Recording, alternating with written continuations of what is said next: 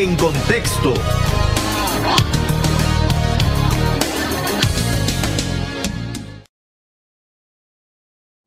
Y a nivel de noticias, ¿de qué está hablando el país y el mundo? José Cardosa nos informa.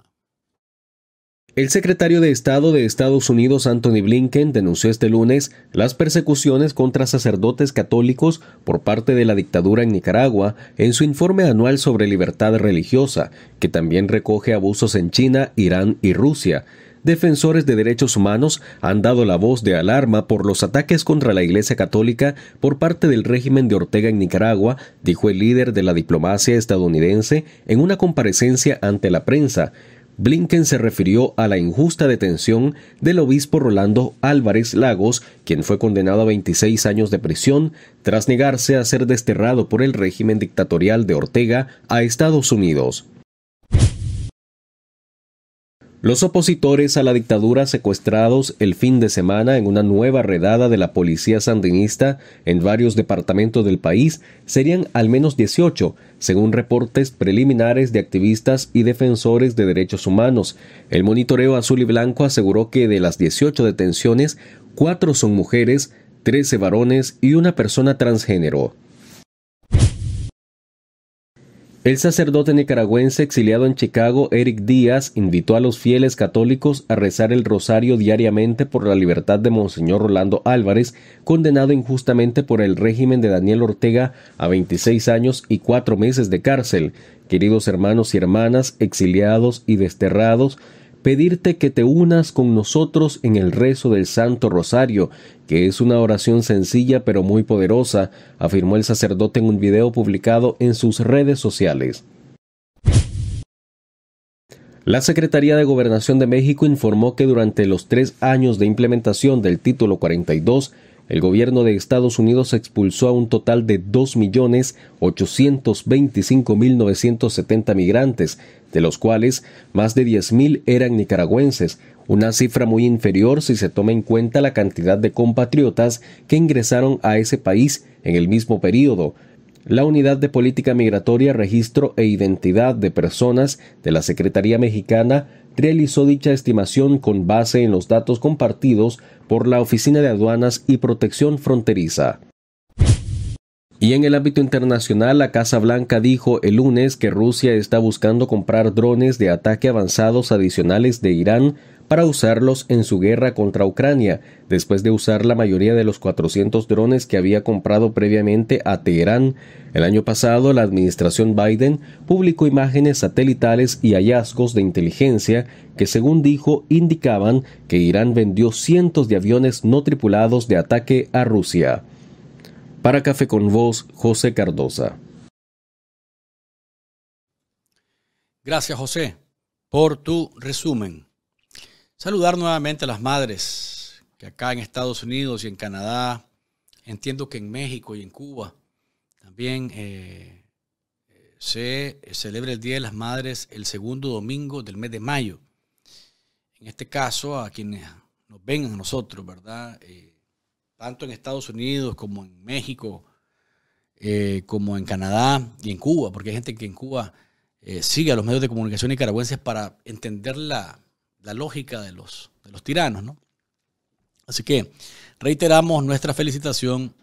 Las nicaragüenses que están acá y que tienen que celebrarlo porque viven en este país, o viven en Canadá, o viven en México, o viven en Cuba, pues la felicitación es de ahora y el 30, porque el 30 igual nuevamente a nuestras madres nicaragüenses las saludamos. Así que un abrazo para todas. Esperamos que hayan tenido un bonito domingo. Díganme, doña Dickel.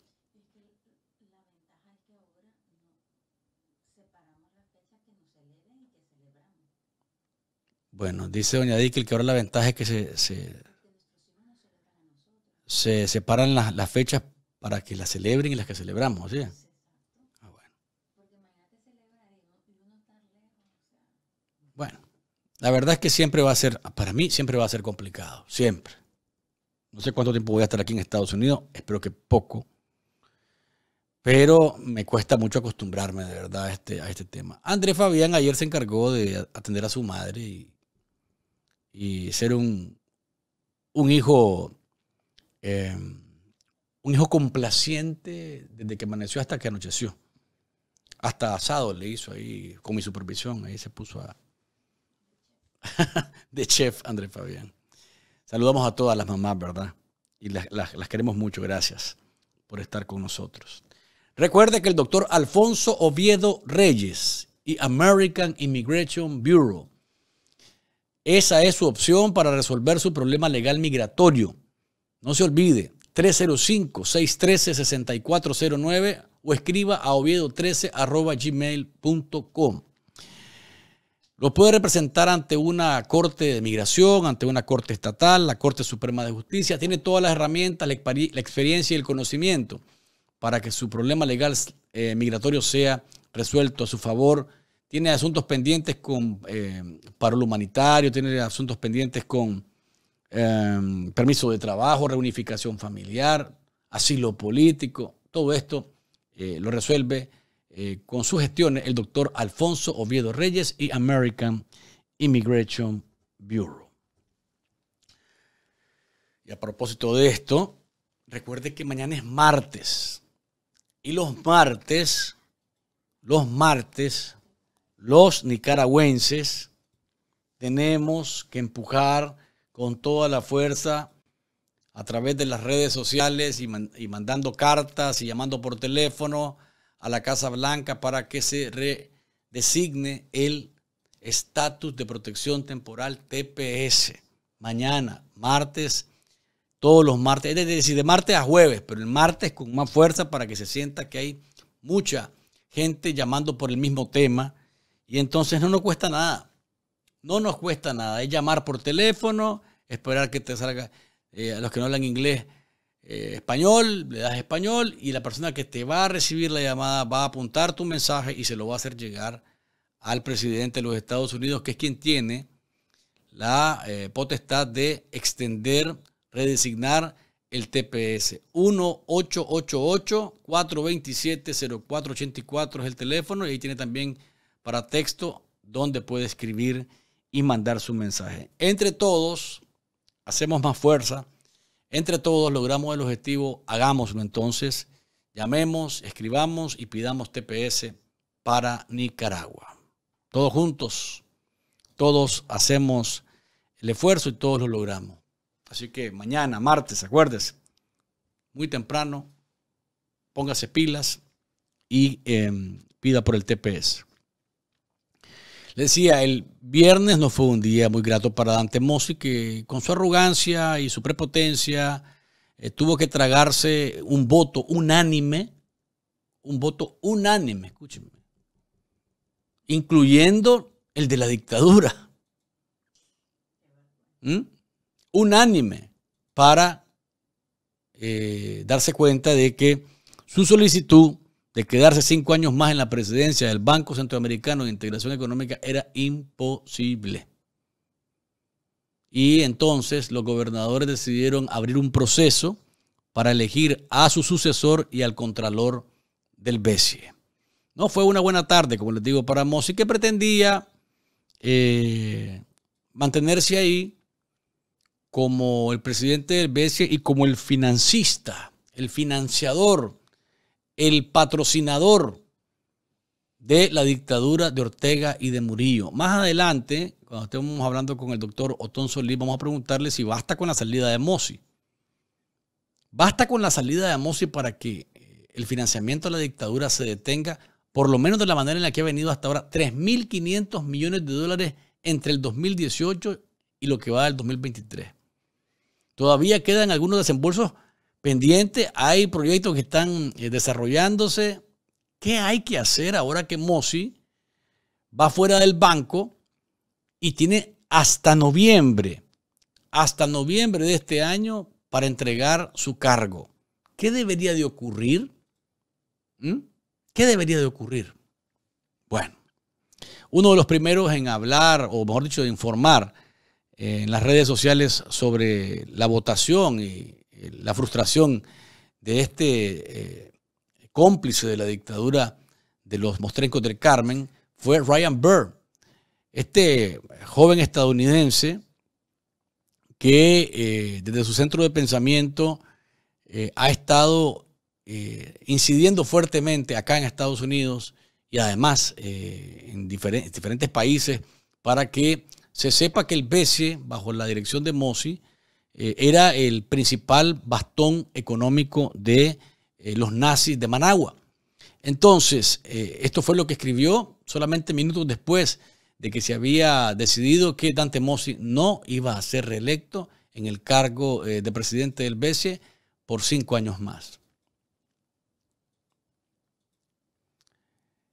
Ya se ha informado públicamente Dante Mossi, el banquero de los dictadores, no ganó la reelección en la reunión del BCE hoy. El mensaje es simple. Financia a los dictadores y abusa de los fondos y te caes. Esta victoria es de los nicaragüenses. Y déjenme decirle que no solamente los nicaragüenses, Ryan Bird también, y es americano, es estadounidense, pero ha estado comprometido con el tema de los nicaragüenses eh, y particularmente con el tema del BCE de cabeza. Es más, en el, en el debate que tuvo, lugar hace unos meses atrás, ahí estaba Byrne y estaba Manuel Orozco. ¿Mm? Entonces, sí, efectivamente es un, triunfo de todos los nicaragüenses que de una u otra forma se ha estado empujando. Y aquí no es mérito de un grupo sí, de otro grupo no, de todos los nicaragüenses que han estado empujando para que esto se alcanzara. Evitar que Mossi fuese reelecto. Minutos después, el mismo Mossi eh, tuvo que reconocer en Twitter que tenía que decirle adiós a su cargo, un cargo en el que gana más de 30 mil dólares mensuales Óigame bien, más de 30 mil dólares. ¿Usted sabe lo que es eso? Mensuales. Ay, mamita. Por supuesto que uno se enamora de esa silla. Y cuando miras que todos los directores, como vos les estás dando algunos privilegios, eh, con tal de que te den cancha abierta, entonces vos vas de viaje. ¿Qué dice No, no, no, no, hábleme fuerte. en murmullo no. No, si es que, a ver, el resultado ahí está. El resultado de denunciar, el resultado de decir, el resultado de gritar, el resultado de no quitar el dedo sobre la llaga, está ahí. ¿Mm? Los que iban exactamente, los nicaragüenses que iban a la sede de Costa Rica a pedir que Mossi no fuese reelecto, todo eso tiene un efecto. Aunque Mossi diga que no, aunque Mossi dice que no es por eso, no, no, no. Cuando te dicen que no en el cargo, te cierran la puerta es porque lo que estás haciendo al resto le, está eh, quedando claro que no es el camino que se debe llevar en una entidad tan importante como esta. El mismo Mose tuvo que reconocer que se tenía que ir. Aquí está el tweet por medio del cual eh, hizo público que no iba a estar al cargo del, del BESIE por más tiempo. Gracias Centroamérica y BESIE por estos casi cinco años Acompañaré la transición de nuevo liderazgo que llegue en diciembre de 2023. Es eh, lo, que dice, lo que dijo Moss inmediatamente. Byrne, que le estaba esperando seguramente eh, el tweet, estaba al acecho, decimos, esperando a ver cómo, a qué hora reaccionaba. Y aquí está, eh, citando este mismo tweet de Moss y Ryan Byrne, lo que le indica. Es hora de pulir tu currículum vitae. ¿Mm? Ay, ay, ay. Bye, bye. es hora de pulir tu currículum, le dice Ryan Bird, o le dijo Ryan Bird a, eh, a Mossy. No, el siguiente byte, el siguiente byte, el siguiente tweet eh, de Bird creo que es hacia donde todos deberíamos de empujar, efectivamente. ¿Cuál es el siguiente paso? Dice Ryan Bird. Vean lo que propone. Próximo paso después de la derrota de Dante Mose, plena implementación de la ley NICA-AT y la ley Renacer, campaña de sanciones multilaterales estratégicas para perseguir sectores ilícitos, no más impunidad para los violadores de derechos humanos. Este, este me parece que es eh, el camino más acertado. Y Bird, como les digo, cada vez que has tenido la oportunidad frente a senadores acá en Estados Unidos y de donde se le puede dar el espacio, señala que hay herramientas y nosotros todos deberíamos de empujar para que la NICAAT y la ley Renacer sea aplicada en su totalidad, que no haya delincuentes que se crean que son impunes. Y las leyes que están acá, que son herramientas valiosas y que solamente tiene que haber voluntad política para implementarlas, se llevan adelante. Así que Burr, una vez más, eh, da en el clavo cuando dice, bueno, ahora hay que empujar con todas estas dos leyes y todos los instrumentos que sean necesarios para que la impunidad no reine. Definitivamente que es un triunfo de los nicaragüenses, que hemos empujado, digo hemos empujado porque nos ha tocado a todos, de una u otra manera, con un tweet, eh, con, con entrevistas, el debate que armaron, las publicaciones de los medios de comunicación destapando la corruptela y toda la francachela de Mossi eh, eh, en, la presidencia del BESIE. y aquel que se quiera atribuir que es por mí, realmente es, estar orinando fuera del, fuera del huacal. Aquí es un triunfo de todos los nicaragüenses que hemos estado repudiando el actuar de este financiador, este socio de la dictadura, Dante Mossi. Veamos el tuit de Manuel Orozco, que participó en el debate, y eh, se refiere también a el portazo que los gobernadores del BESIE le dieron en la cara a Dante Mossi. Voto de desconfianza contra dictaduras. Una oportunidad para contar con autoridades apegadas al rendimiento de cuentas y al compromiso con el desarrollo y los derechos humanos. Los nicaragüenses no están solos. Ahora, y ahí propone también eh, Manuel, el CAFTA. No es cierto, porque aquí pone y cita expediente público, dice, después de lograr reelección del BESIE, Dante Mossi dijo que acompañará la transición del nuevo liderazgo que llegue en diciembre del 2023. Y Manuel Orozco propone que también eh, dentro de las herramientas que se tienen que implementar para eh, presionar más a, la dictadura está eh, el tema del CAFTA. Déjeme decir una cosa, yo lo he dicho en otro momento, pero quiero reiterarlo. Ya Daniel Ortega ya, ya midió los escenarios completos y está fuera del CAFTA y ya sabe cómo va a ser las cosas. Porque él está dispuesto a hundir todo, pero quedarse ahí. Incluso ya tiene ese escenario rayado. ¿Mm?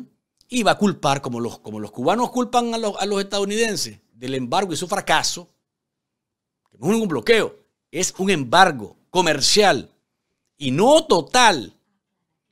Y no total. Por eso, a ver, de nuevo, no es un bloqueo, es un embargo comercial. ¿Qué es lo que significa esto?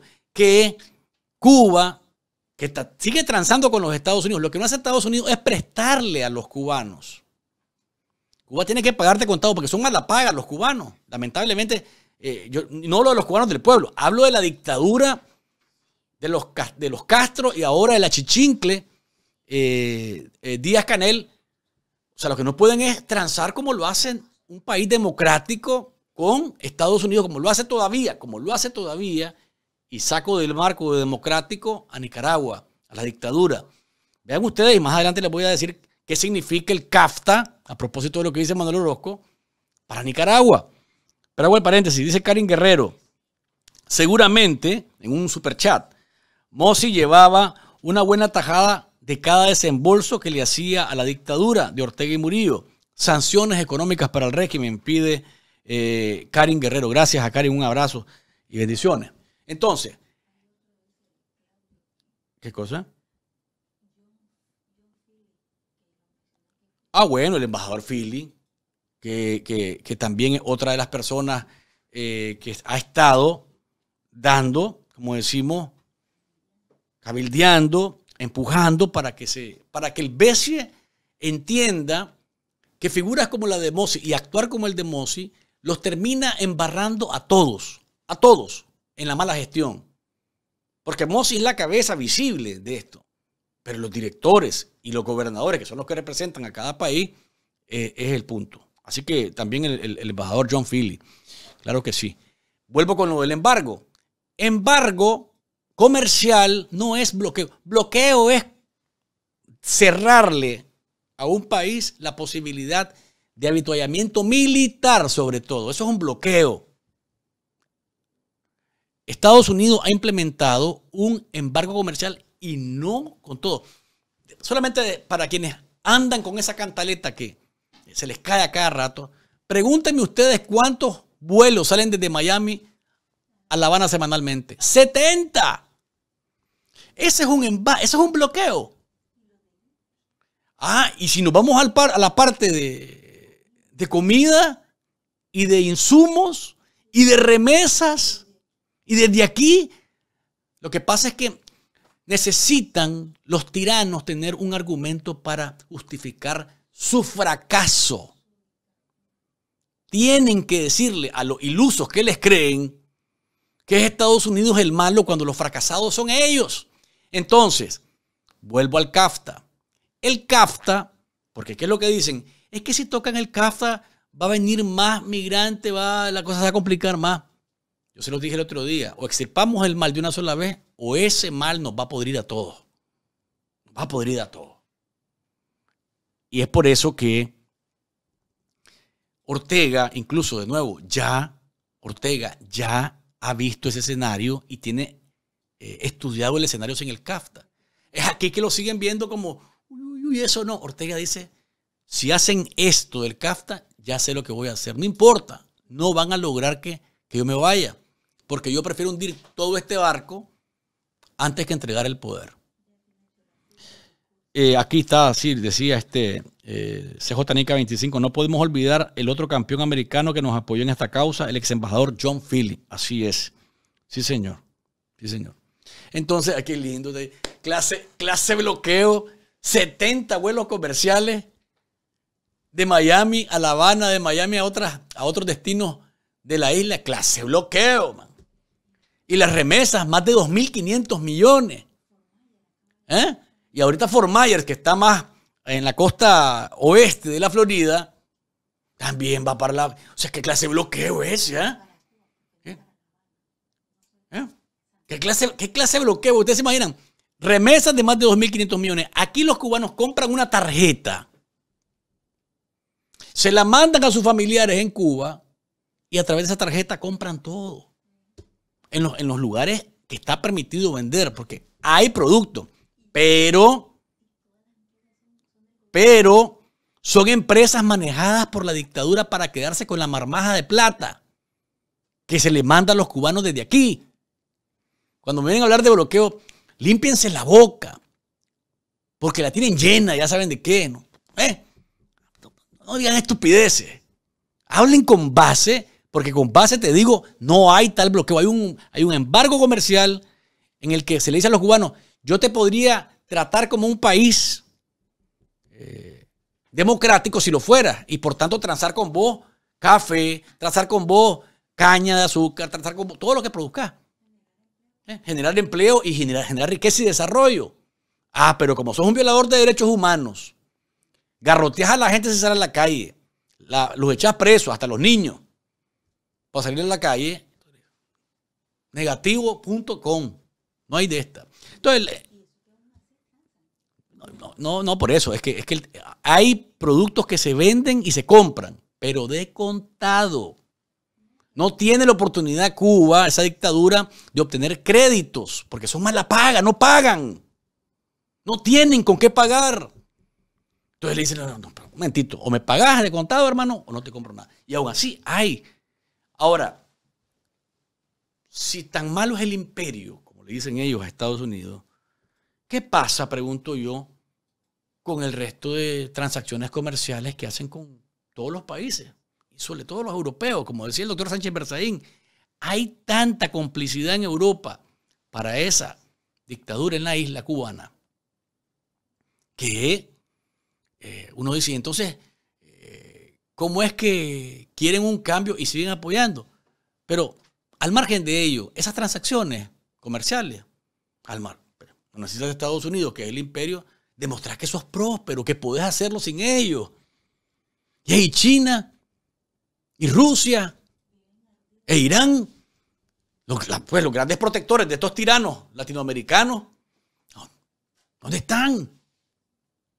Lo que pasa es que de nuevo necesitan una justificación para su mediocridad y para su fracaso. No pueden.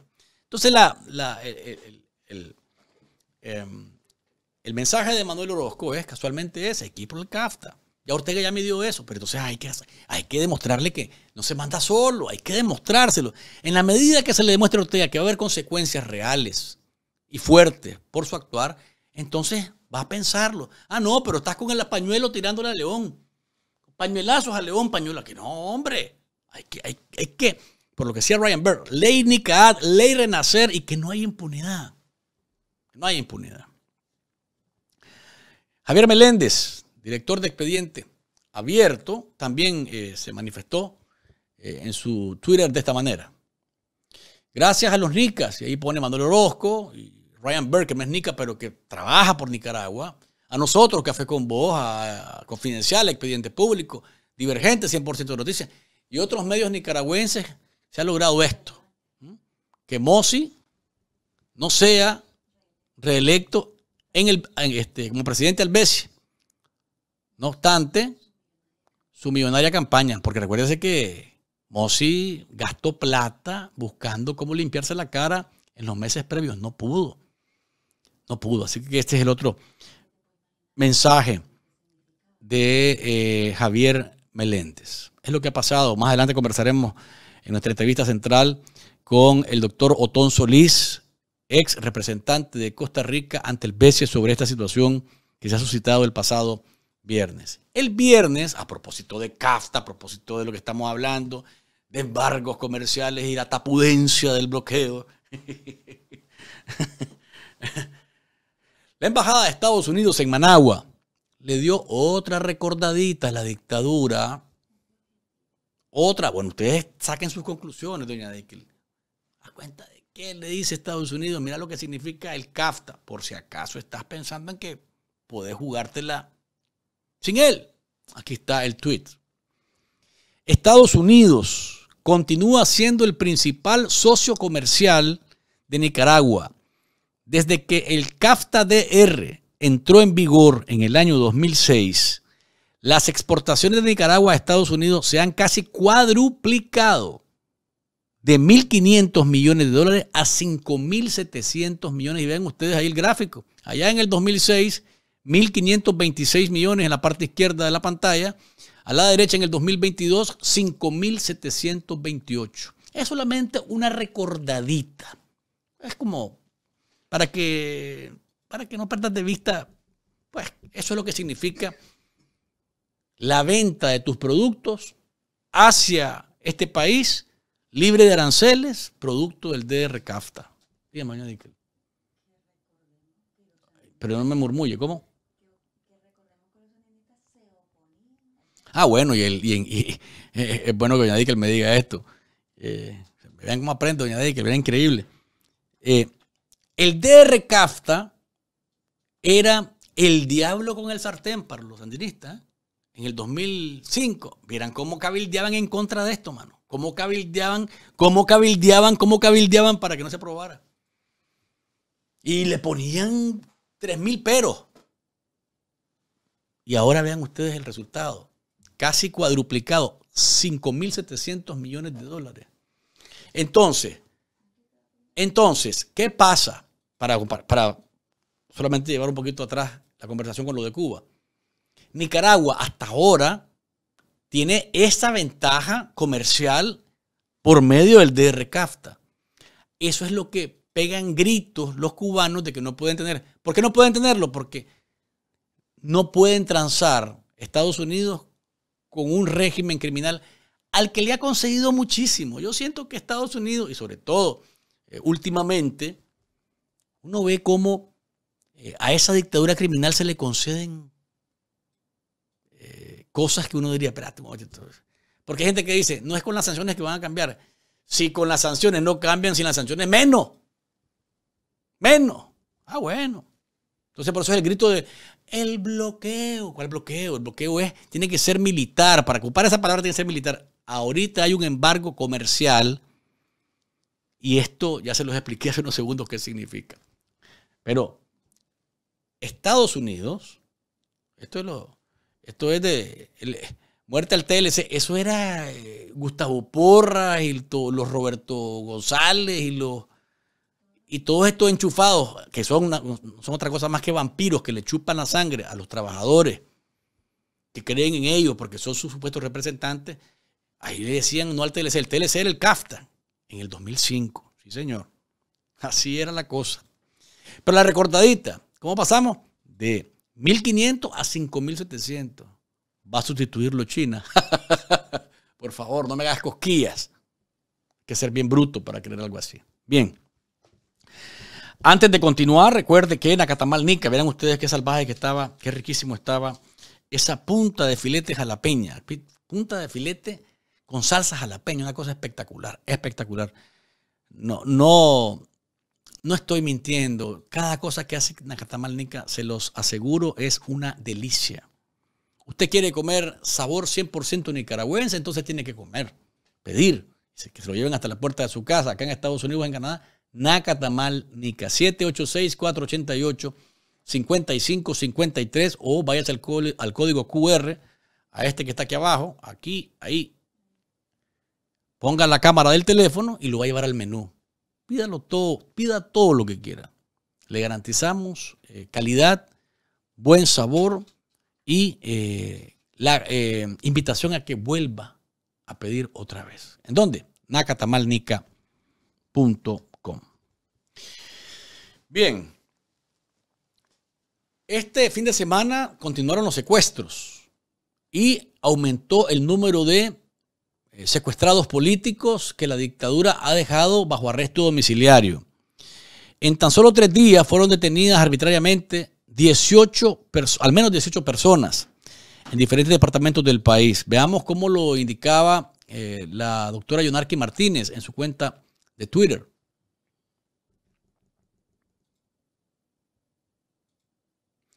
Sábado de oscuridad en casa de ciudadanos señalados de fomentar odio y conspirar.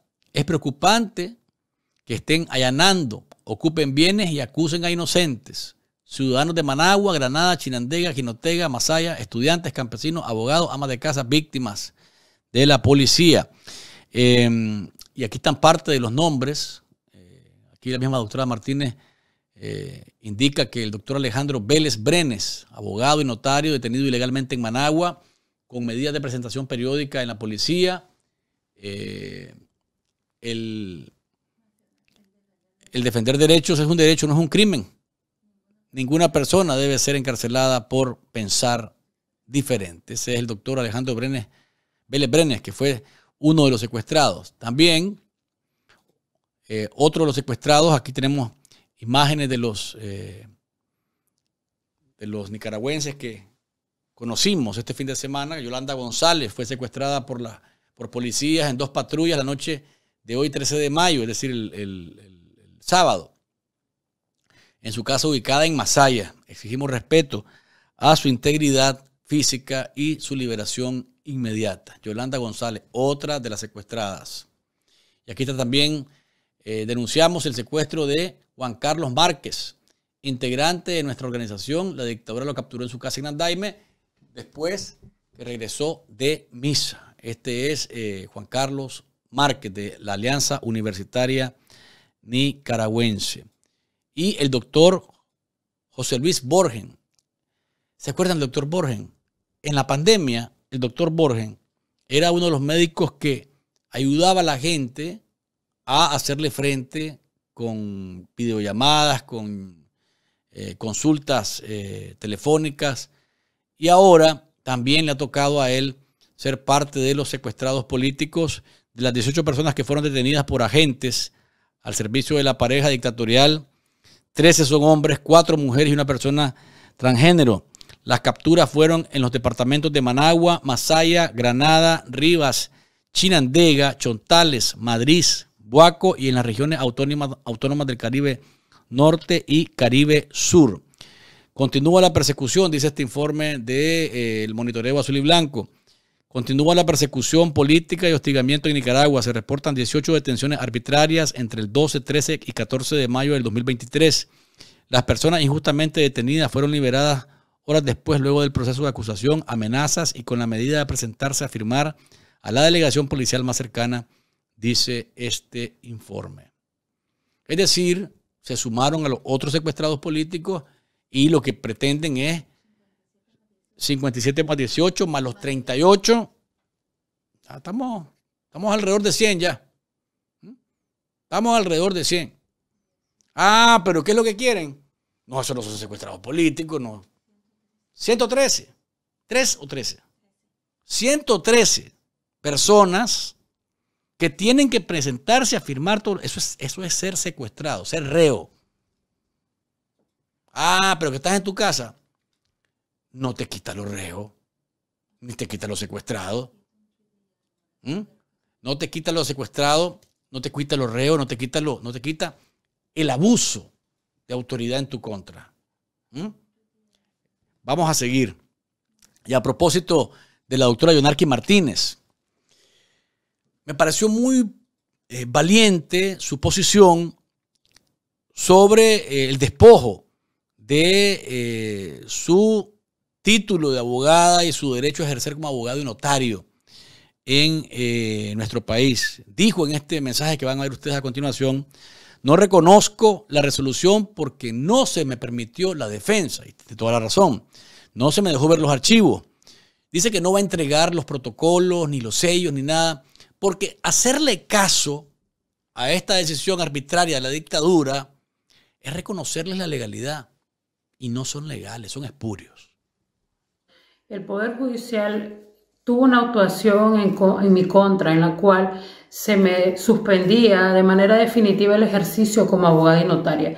Yo no reconozco tal resolución que fue firmada por tres magistrados, la doctora Albaluz Ramos, la, la doctora Juana Méndez y el doctor Marvin Aguilar junto con el secretario de la Corte Suprema de Justicia, el doctor Rubén Montenegro. No se me permitió la defensa, no se, no se me permitió acceder a los archivos, inclusive hasta el momento se me mandó a entregar los títulos de abogado y notario público. No lo he hecho, no lo voy a hacer, no reconozco las ilegalidades que ha cometido el Poder Judicial. Presentarme ante la oficina del Poder Judicial significa darle credibilidad. Así que no voy a estar, no, como abogada, no voy a prestarme a, a tal represalia.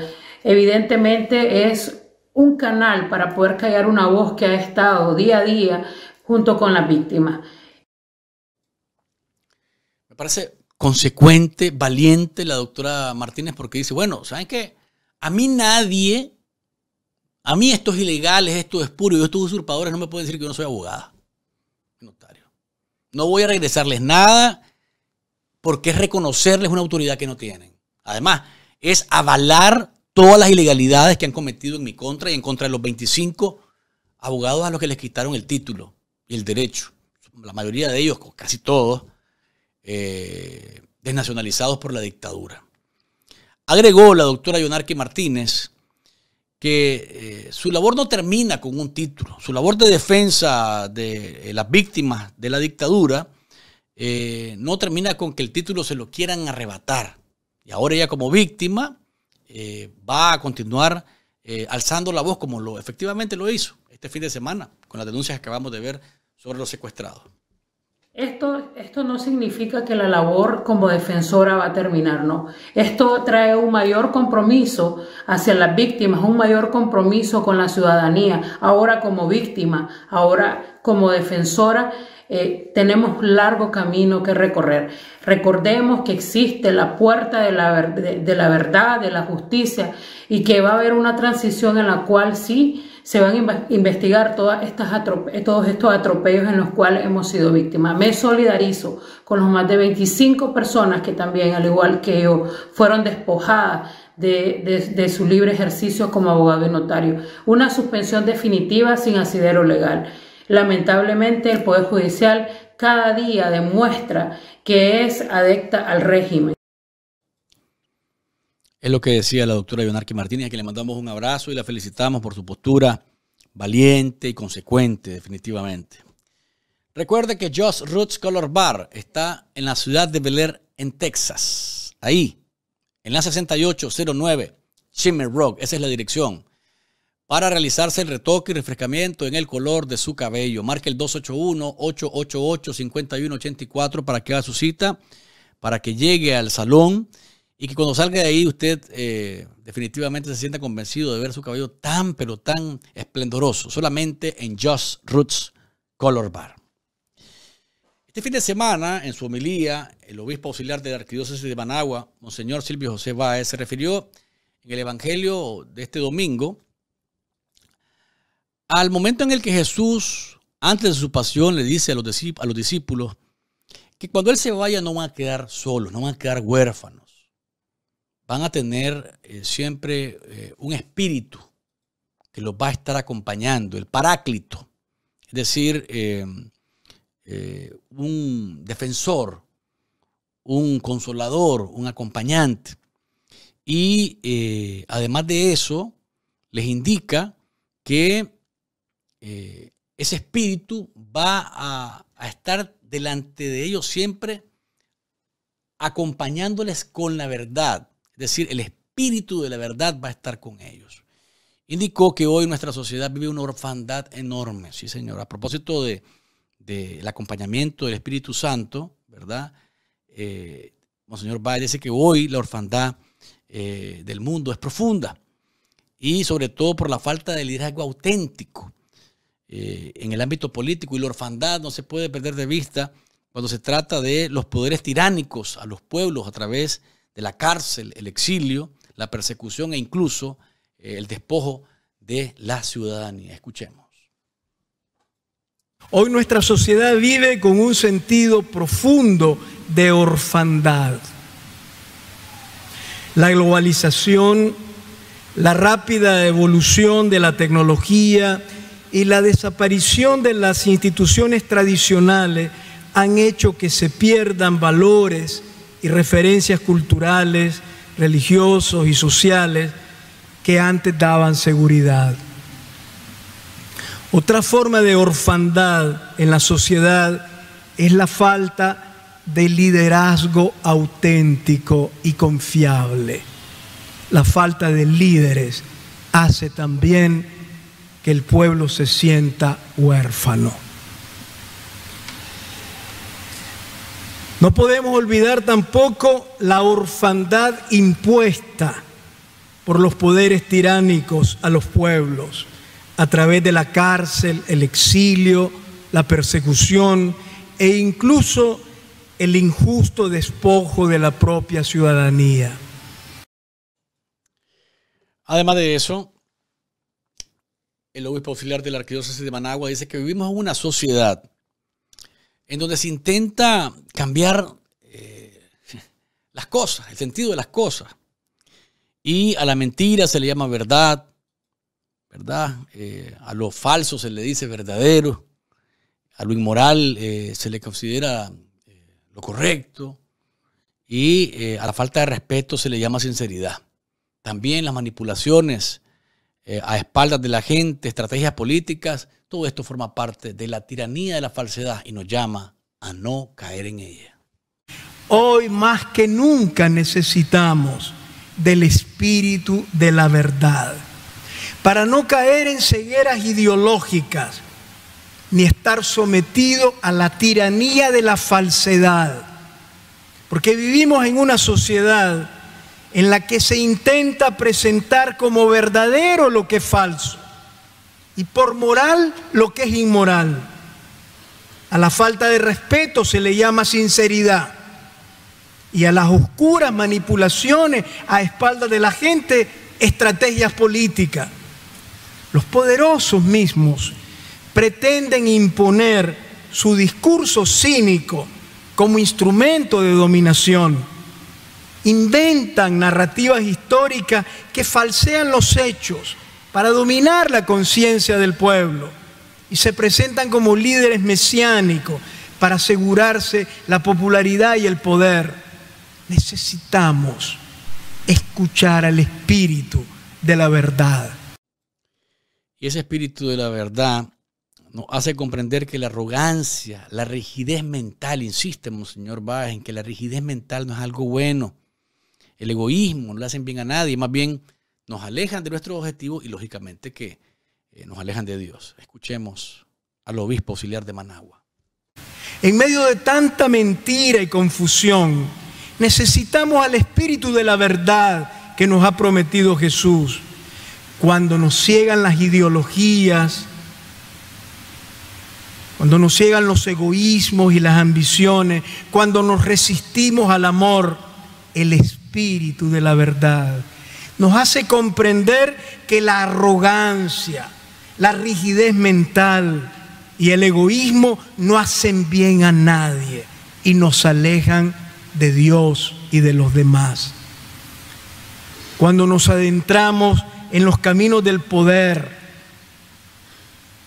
de la búsqueda de dinero o de popularidad, el Espíritu de la verdad endereza nuestro sendero y nos enrumba en el camino de Jesús, el camino de la cruz, que es el camino del amor generoso y sacrificado por los demás, que es el único que nos hará felices y nos conducirá a la vida. Gran mensaje, como siempre, el de Monseñor Silvio José Báez este domingo. Ojalá y que eh, haya capacidad de discernimiento en todos, los que escuchamos su mensaje, en todos, ¿verdad? Y hago énfasis, todos con letras mayúsculas. Ojalá que hubiese discernimiento, ¿verdad? Y eh, comprensión de lo que nos está diciendo. Hombre, esto de la dictadura, el descaro de la dictadura es monumental, ¿no? Siempre, y, hay, que, denunciarlo. Resulta, ustedes pues, acaban de robarse la, Cruz Roja, ¿no? Robaron la Cruz Roja, cancelaron la Cruz Roja nicaragüense, eh, se inventaron su cruz roja, su cruz roja y negra, cruz roja y negra. Eh, ¿Qué cosa, doña Ah, la cruz roja y negra, gracias, doña Esta es la, se inventaron esta cruz roja y negra. Y uno de los grandes argumentos que, había escuchado yo en los eh, gamborimbos de la dictadura era que ya los cobros se iban a acabar.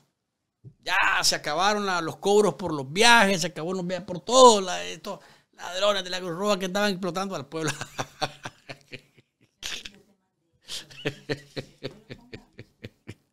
o sea, no, ya dije, vamos a poder ya para avanzar, eh, porque nos está esperando nuestro invitado. Eh, a ver, o sea, el cuento era que también no más cobros, ¿no? Eh, y todo el pueblo, ahora que está la Cruz Roja y Negra bajo, la, bajo la dirección del MINSA también, adscrita al MINSA, autónoma, entre comillas, pero adscrita al MINSA. Entonces, no más cobro, ya estos bárbaros de la Cruz Roja ya no se van a aprovechar del pueblo, pues resulta que no corrieron muy, muy largo. O sea, se pusieron las pilas, ya están cobrando también. ¿Qué te pasa, papito? Si esto es negocio. ¿Eh? es negocio, papá. ¿Qué, qué, es lo que quieres? ¿Qué cosa? Ah, bueno, voy a ponga, los dos más cobros, pues rapidito, para que la gente vea. Los grandes cuentos que se andaban. Prohibido, no más cobros por traslado de la Cruz Roja Nicaragüense adscrita al MINSA. Elimina de forma inmediata los cobros de traslado de pacientes. Ah, pero esto no lo publican, ni, le hacen bulla porque les da vergüenza hacerle bullas en, su, en, sus redes. Vean lo que, cómo están ya las cuentas de los bancos para que usted pague. Usted tiene que pagar. Ve usted eh, lo que se ha conocido las últimas horas. Cruz Roja Nicaragüense te da a conocer los números de cuenta para pago de trámites, licencia de conducir, examen de la vista, consulta psicológica y tienen pues los bancos las cuentas, ¿verdad?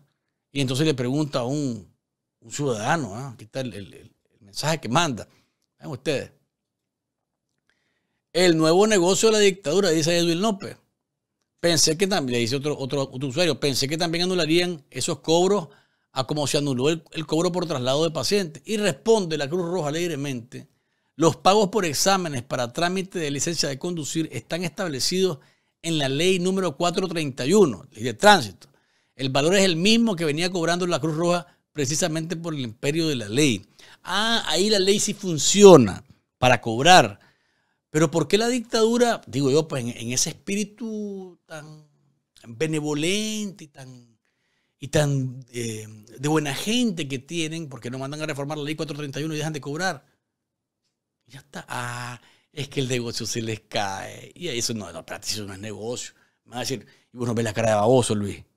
Si es negocio esto, ¿cómo se te ocurre? Lo queríamos tener bajo nuestro control porque sabemos que podemos sacarle de ahí también. Para que vean, pues. Para que, no más cobro y siguen los cobros.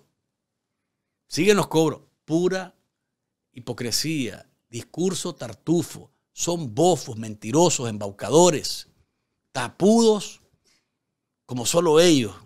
Hay que desenmascararlo, hay que decirlo siempre.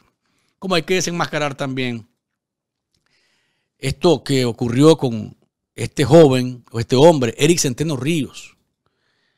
La policía allá en, eh, eh, en el aeropuerto de Corn Island mató, hay que decirlo de esta manera, mató a este hombre. Es una brutalidad eh, lo que se ha divulgado a través de las redes sociales sobre este hecho. Un hombre al que capturan, o sea, entiendo que con problemas mentales, y lo sometieron de una manera salvaje hasta que lo asfixiaron, se lo llevaron detenido y lo devolvieron hecho un cadáver, diciéndole a su familia que le había dado un infarto. Impresionante, impresionante eh, el nivel de brutalidad. Aquí tienen algunas imágenes. Vean lo que pasa con las botas. El tipo le está poniendo las botas encima del pie. Vean ustedes esto. Esta es la guardia sandinista en su dimensión. Están cuatro hombres en contra de él. Uno lo está ahorcando, lo está asfixiando.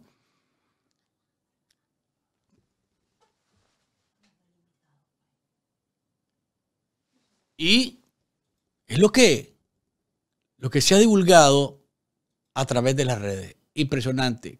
Lo sacaron de una camioneta, él trató de huir, lo rodearon, lo golpearon, lo redujeron. El tipo tenía fuerza porque no se dejaba. Vean ustedes, esto es cruel realmente lo que, lo que ha ocurrido. Se lo llevaron y regresó a su casa hecho un cadáver. Esto hay que denunciarlo también. Claro que sí. No podemos normalizar estas cosas.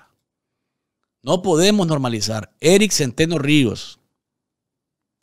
Eric Centeno Ríos. Esta persona fue asesinada por la policía de Daniel Ortega y Rosario Murillo.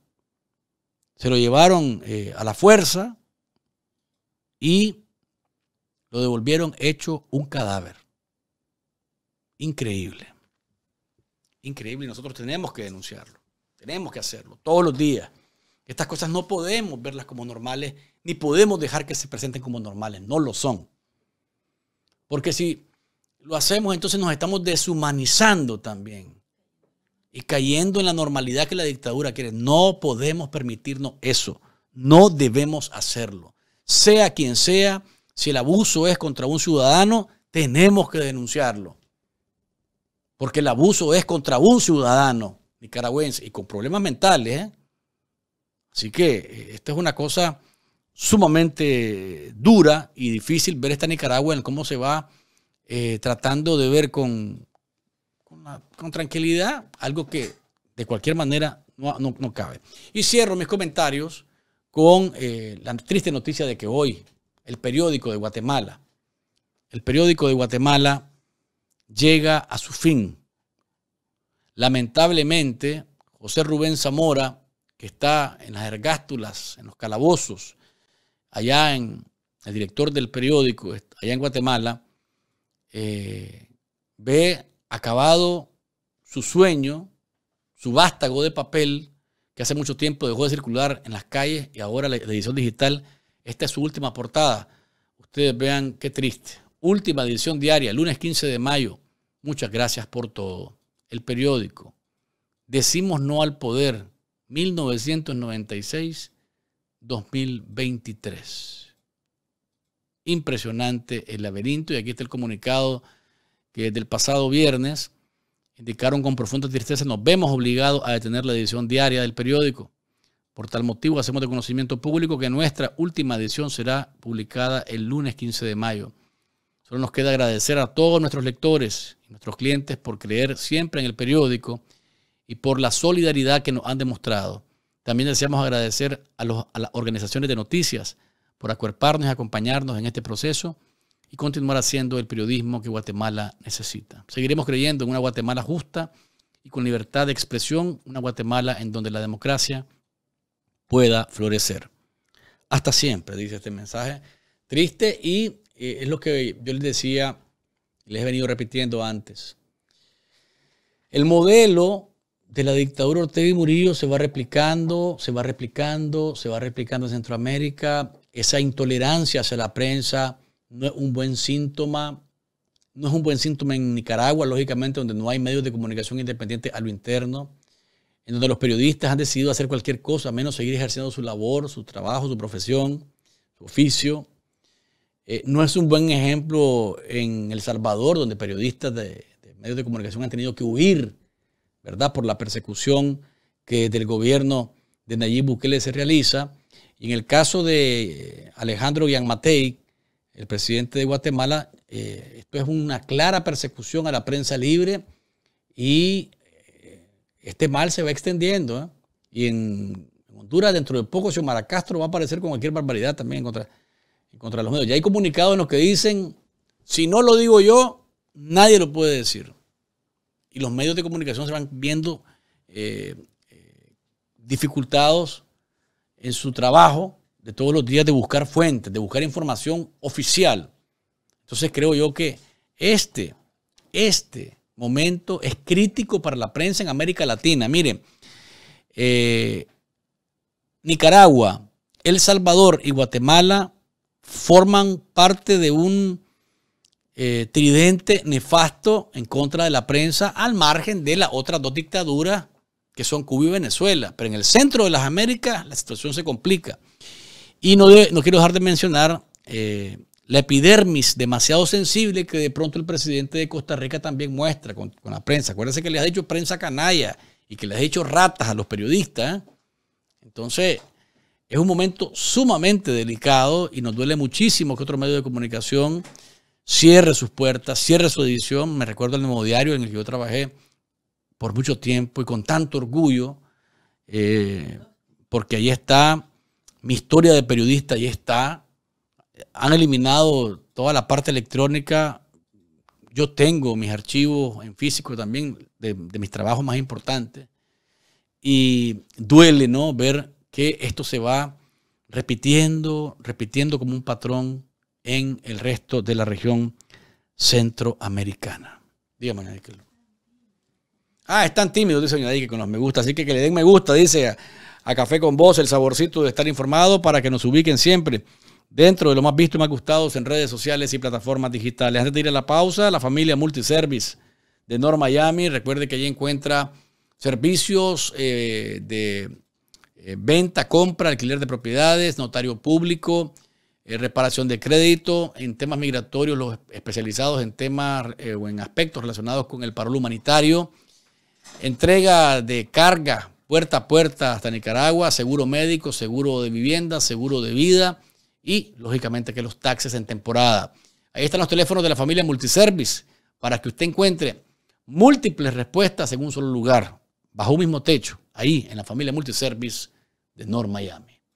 Vamos a la pausa comercial y regresamos con nuestro invitado. Ya nos está esperando el doctor Otón Solís. Otón Solís, ex representante de Costa Rica ante el BESI.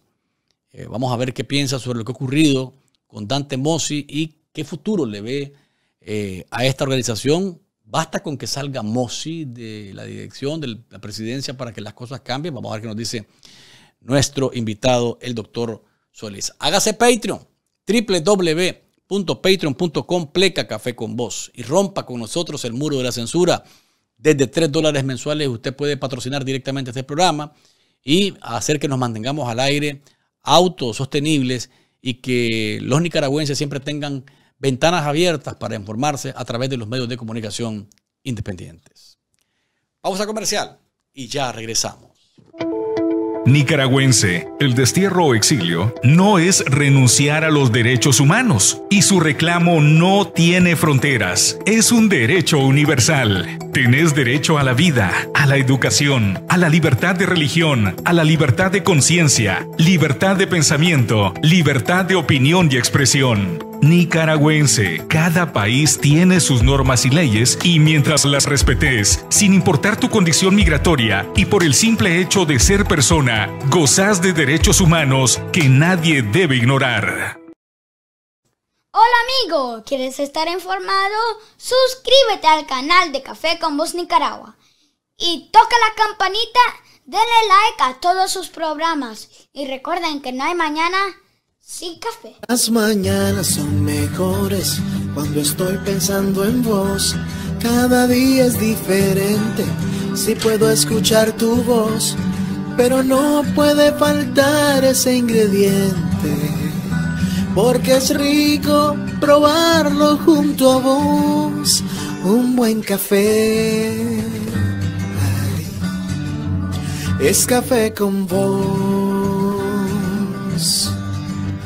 es café con vos.